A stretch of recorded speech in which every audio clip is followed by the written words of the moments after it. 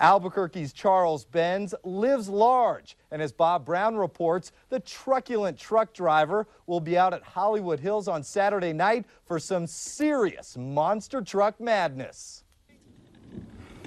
This is Charles Benns, and this is his monster truck Pitbull. Together they make a beautiful pair, and on Saturday night, their skills will be on full display.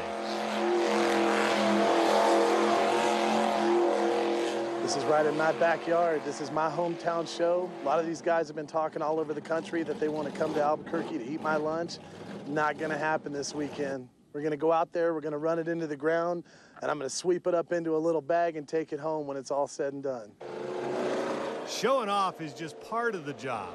But for Charles, his true passion is giving back to his community and the fans he loves so very much. That includes his many young fans over at Carrie Tingley Hospital. Over the past four years, Benns has donated to the hospital 100% of his New Mexico winnings. The San Felipe Hollywood Casino has been very, very generous, and they've donated the seats to bring down the patients and their families so they can get away and help get their mind off things this weekend down here and watch their pit bull tear it up. The last time we saw Charles was at Tingley Coliseum where his truck became a torch.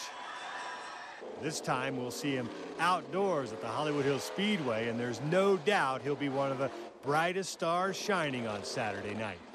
So there's no gas fumes to inhale. They're going to be out here with all the fresh air and the beautiful stars out here at San Felipe.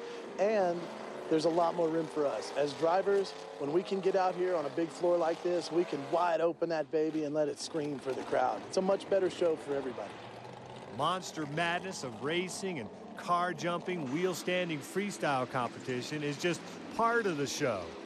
This night, Under the Lights will also include action from the tough trucks and the always popular drivers and co-drivers of the cruiser class duking it out on the oval.